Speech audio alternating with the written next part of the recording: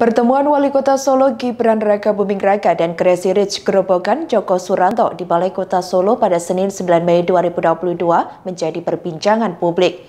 Setelah sekitar satu jam bertemu, Joko Suranto melontarkan sejumlah pujian kepada Gibran atas kepemimpinannya membangun kota Solo. Saat dikaitkan dengan tertarik atau tidaknya Joko di dunia politik, ia mengaku tujuannya saat ini hanya ingin mengkampanyekan kebaikan.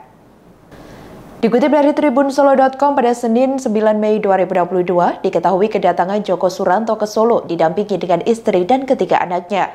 Pertemuan ini berlangsung secara tertutup di ruang rapat Gibran. Seusai pertemuan, Joko dan Gibran lantas menjumpai wartawan. Berada di samping Gibran, Joko mengatakan putra sulung Presiden Joko Widodo itu sebagai calon pemimpin masa depan.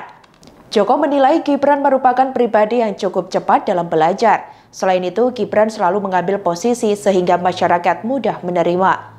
Selain itu, Crazy Rich Gerobokan itu juga menilai Gibran seorang yang responsif. Bahkan Joko mengaku sangat mengapresiasi Gibran dalam menumbuhkan ekonomi di kota Solo.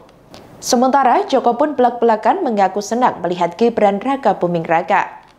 Ditanya apakah dirinya tertarik pada dunia politik, Joko menampiknya. Ia mengatakan bahwa dunia politik adalah dunia Gibran. Selain itu, ia mengaku jika dunia yang diharapkannya dalam hal kebaikan saja. Dikatakan olehnya menumbuhkan berbuat sesuatu tak harus menjadi seorang pejabat. Sampai saat ini belum diketahui secara detail terkait pembahasan dalam pertemuan keduanya tersebut.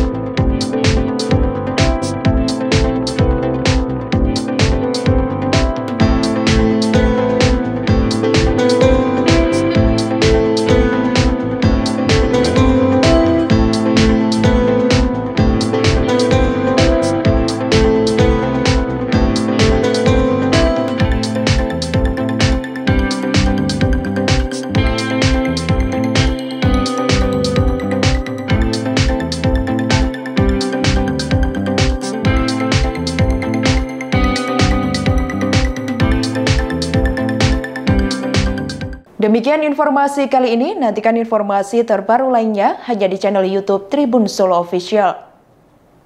Terima kasih sudah nonton, jangan lupa like, subscribe, dan share ya!